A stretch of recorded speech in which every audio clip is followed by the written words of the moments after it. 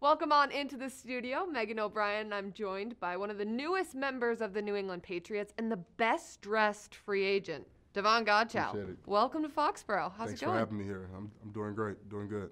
So, what was your reaction when you walked into the doors at Gillette Stadium? It's amazing just to see all the uh, all the accolades, all the championships, to see all the trophies and things like that. Uh, coaches, you know, Bill Belichick, you know, he's the greatest to do it. You know, just to see that, I mean, just to, it's kind of amazing just walking in here. So, have you met Bill yet? Yes, I met him. You know, we talked about football. You know, I'm a, I'm a big football guy. You know, of course, Bill's a you know big football guy. So we talked about ball, talked about D-line play, and uh, I'm excited to get it going.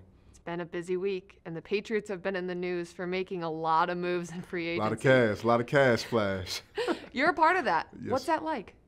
I mean, it feels great uh, when you get to come in like an organization like this. Like I say, you know, uh, historic, uh, winning, you know, uh, on and off the field. You know, like I say, six Super Bowls, and to get to come in and be a big part of that, big key piece at nose tackle, get to dominate up front. You know, with your brothers on side of you. I mean, it, feels special. What do Patriots fans need to know about Davon Godchaux? First of all, I'm, I'm the best dressed.